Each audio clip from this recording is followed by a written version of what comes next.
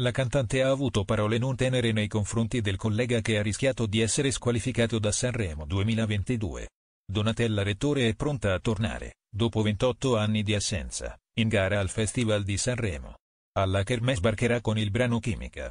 Intervistata dal Corriere della Sera, l'artista ha riservato una stoccata affilatissima al collega Gianni Morandi, pure lui tornerà in gara nel concorso canoro con Apri tutte le porte, che ha rischiato grosso. Nei giorni scorsi, per sbaglio, ha diffuso il suo brano sul web. Non appena se ne è accorto, lo ha cancellato ma ormai il danno era fatto.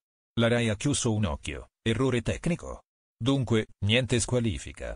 Secondo la rettore, però, in un simile contesto e in una simile situazione l'eliminazione non sarebbe stata sbagliata. Sul discorso relativo al caos che ha generato Morandi pubblicando erroneamente il suo brano in rete, la rettore ci è arrivata parlando di Platone. Esatto, il filosofo greco. Ma cosa ci azzeccano Sanremo, Morandi, la rettore e Platone?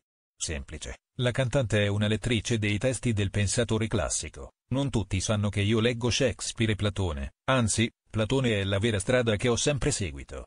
Per esempio mi ha insegnato a prendermi sempre le responsabilità delle mie azioni.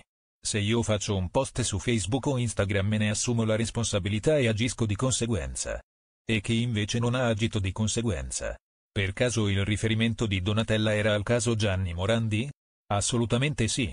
E infatti è lei stessa a sottolinearlo al Corsera, non come quelli che prima mettono sui social un pezzo di canzone destinata a Sanremo e poi oh, ho sbagliato, scusatemi, sono uno sbedato e cose così. Ma dai.